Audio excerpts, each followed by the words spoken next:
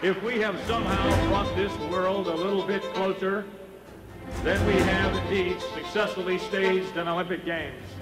And in a small way, perhaps, we have secured a better future for all the children of the world.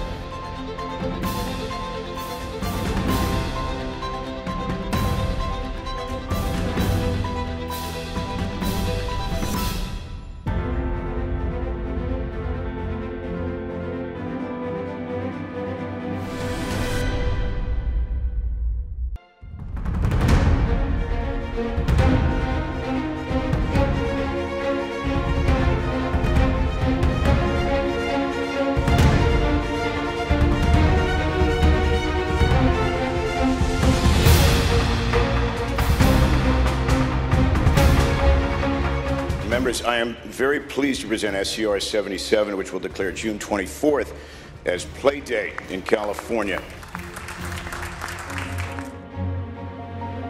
Not everyone in our country has access to basic activity, to basic fun.